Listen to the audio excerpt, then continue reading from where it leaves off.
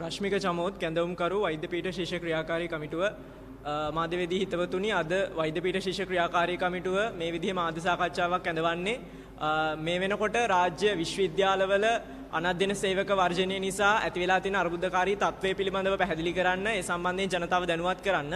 අපි දන්නවා මේ වෙද්දී දවස් 60කට අධික කාලයක් පුරාවටම මේ අනධ්‍යන සේවක කාර්ය මණ්ඩලය විසින් පවත්වන වැඩවර්ජන ක්‍රියාමාර්ගය නිසා රාජ්‍ය විශ්වවිද්‍යාලවලත් රාජ්‍ය වෛද්‍ය පීඨවලත් දැඩි අර්බුදකාරී තත්ත්වයක් ඇති වෙලා තියෙනවා. මේ නිසා සමස්ත විශ්වවිද්‍යාල පද්ධතියම අකර්මණ්‍ය වෙලා තියෙනවා.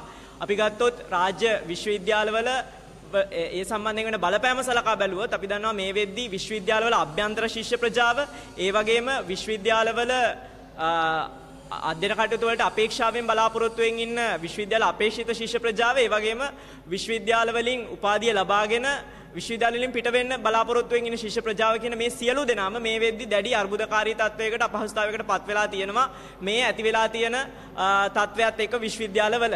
එතකොට මේ වෙද්දි විශ්වවිද්‍යාල අපේක්ෂක ශිෂ්‍ය ප්‍රජාවට තමන්ගේ විශ්වවිද්‍යාලවල සඳහා අයදුම් කිරීමේදී ගැටලුකාරී තත්වයක් මතුවලා තියෙනවා. ඒ වගේම විශ්වවිද්‍යාලවල වෛද්‍ය පීඨවල අධ්‍යයන කටයුතු කරද්දී දේශන පැවැත්වීම මේ වෙද්දි භෞතිකව පැවැත්වීම අසාර්ථක වෙලා තියෙනවා. ඒ නිසා අධ්‍යයන කාර්ය මණ්ඩලය විසින් දේශන ඔන්ලයින් ක්‍රමයට පවත්වන්න මාර්ගගත ක්‍රමයට පවත්වන්න කටයුතු කරලා තියෙනවා. නමුත් ඒ සම්බන්ධයෙන් දැඩි ගැටලුකාරී තත්වයක් මේ වෙද්දී පත් වෙලා තියෙනවා. ඒ හේතුවෙන් ශිෂ්‍යයන් දැඩි ලෙස පීඩාවට පත් වෙලා තියෙනවා. ඒ වගේම නේවාසිකාගාරවල විදුලිය බිඳ වැටීම්, ජල බිඳ වැටීම්, මේ වගේම අන්තර්ජාල පහසුකම් සම්බන්ධයෙන් ගැටලුකාරී තැන් ඒ සම්බන්ධයෙන් අර්බුදකාරී තැන් මේ වෙද්දි මතුවලා තියෙනවා. එතකොට ඒ වගේම විශ්වවිද්‍යාලවල උපාධි ප්‍රදානෝත්සව දින නියමයක් නැතුව කල් දමන්න සිද්ධ වෙලා තියෙනවා. එතකොට විශ්වවිද්‍යාලවල අනධ්‍යන සේවකයන්ගේ මේ වර්ජනය දැනට මාස දෙකක් තිස්සේ ක්‍රියාත්මක වෙනවා. ඔවුන්ගේ ඉල්ලීම් ප්‍රමාණයක් තියෙනවා. ඒ සම්බන්ධයෙන් රජය තවමත් මුනිවත රකින්න අපිට මේ වෙද්දි බලා ගන්න පුළුවන්. එතකොට ඒ සම්බන්ධයෙන් සිද්ධ වෙන සාකච්ඡාවල කිසිම ප්‍රගතිශීලී බවක් අපිට පෙන්눔 කරන්නේ නැහැ. ශිෂ්‍යෝ විදිහට පැහැදිලිව මේ වෙද්දි අපි පත් වෙලා තියෙන අපහසුතාවය අපි පත් වෙලා ඉන්න පීඩාව තමයි අපි මේ විදිහට ජනතාවට දැනුවත් කරන්නේ. මේ විනාශ වෙන්නේ මේ රටේ ජනතාවගේ අපේක්ෂාවන් මේ රටේ ශිෂ්‍යයන්ගේ බලාපොරොත්තු මේ මාස ගණන් පස්සට ඇදෙන්නේ ප්‍රමාද වෙන්නේ මේ රටේ ශිෂ්‍යයන්ගේ අනාගතය ඒ නිසා පැහැදිලිවම අපි රජයට බල කරමින් කියා සිටින්නේ මේ සම්බන්ධයෙන් නිවැරදි සහ හැකියික්මනින් සුදුසු ප්‍රතිපත්තියක් අනුගමනය කරලා මේ ගැටලු විසඳලා විශ්වවිද්‍යාල සහ වෛද්‍ය පීඨ නැවත යථා තත්ත්වයට පත් කරන්න කියන එක. මේ රටේ මේ වෙද්දී ජනාධිපතිවරයා ඒ වගේම මේ රටේ ආණ්ඩුව මේ විදි ඡන්දයකට සූදානම් වෙමින් ඉන්නවා. මේ රටේ දේශපාලන බලවේග ඡන්දයකට සූදානම් වෙමින් ඉන්නවා. මේ රටේ අනාගතය සම්බන්ධයෙන් ඔවුන් තමන්ගේ ප්‍රතිපත්ති කතා කරනවා ලොකුවට.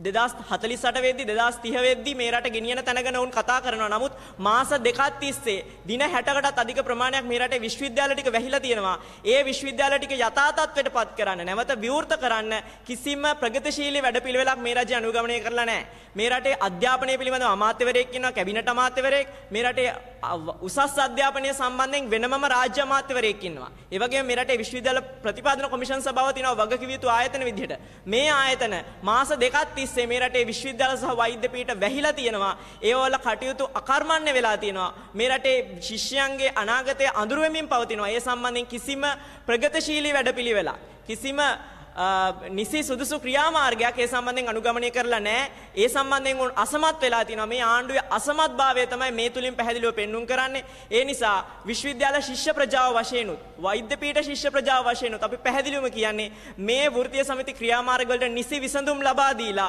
ඔවුන්ගේ ගැටලු විසඳලා හැකි ඉක්මනින් විශ්වවිද්‍යාල පද්ධතිය සහ වෛද්‍ය පීඨ පද්ධතිය නැවත යථා තත්ත්වයට පත් කරන්න.